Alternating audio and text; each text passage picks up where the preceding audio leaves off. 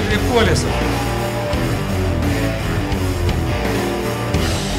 Дмитрий Колесов. Вот он, Дмитрий.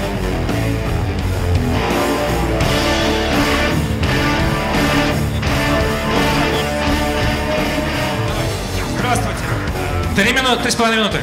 У меня тайминга сразу хотелось бы всех предупредить. Из меня достаточно плохой спикер, и поэтому вам всем чуть-чуть не повезло. Буду А секунду, а что у нас слетело?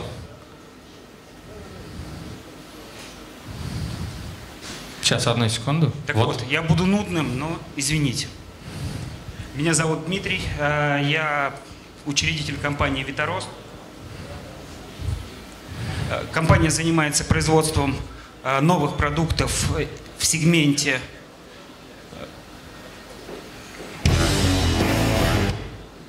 в сегменте биогенной или живой еды, а именно это проростки микрозелень.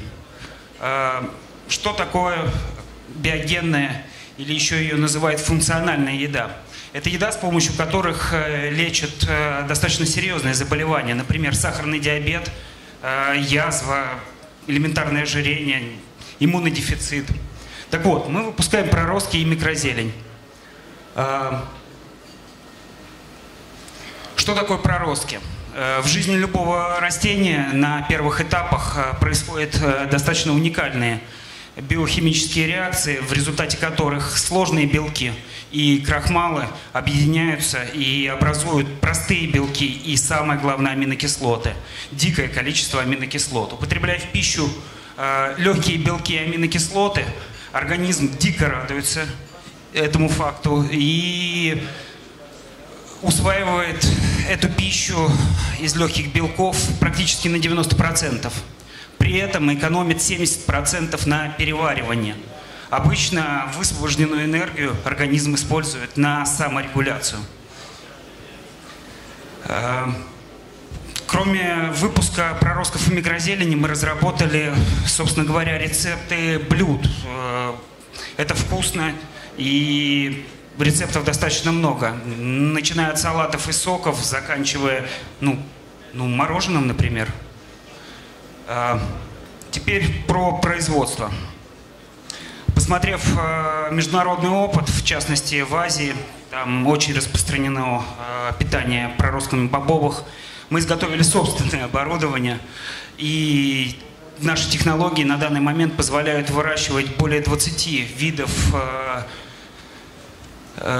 зерновых и бобовых культур, включая, включая лекарственные травы и дикорастущие растения.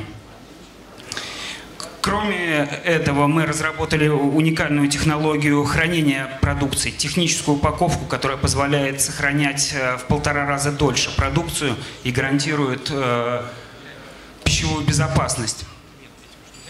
Э, Значит, что 30 еще? секунд.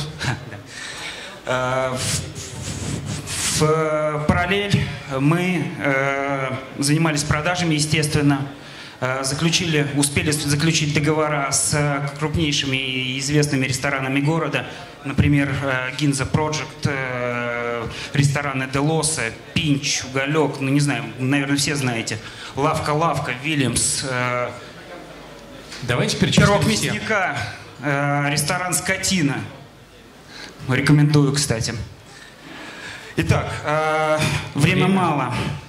Время-то Э, для, вышло, ускоряйся. для начала собственных продаж планируем открыть э, собственные мини-кафе, салат-бары и релакс-зоны.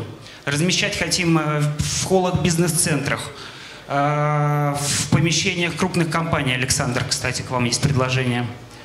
В фитнес-центрах, на фудкортах. Собственно говоря, дизайн выглядит вот так. Это, кроме точки продажи, еще и арт-объект. А Дизайн разрабатывался Дизайн разрабатывался скандинавами. Конструкция легко сборная, легко масштабированная, масштабируемая, ну, собственно говоря, и недорогая. У- Посмотрите, как это может выглядеть. Пролистывая склад про слабые и сильные стороны проекта, переходим к самому основному. Инвестиции. На данный момент э, собственных инвестиций порядка 6 миллионов. Хочу привлечь в два раза больше. Эти деньги необходимы для открытия первых 10 точек продаж.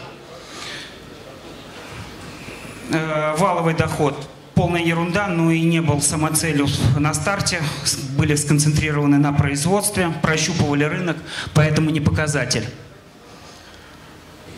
Э, Самый главный вопрос от организаторов э, мероприятия. Почему, э, собственно говоря, все хотят... Почему инвестор должен вложить деньги? Ну, самое главное, на мой взгляд, это этичный бизнес, и я от него, и надеюсь, мои партнеры будут получать удовольствие не меньше, чем сейчас от собственного бизнеса. Ну и, конечно же, прибыль. Все, спасибо, извините за Спасибо большое.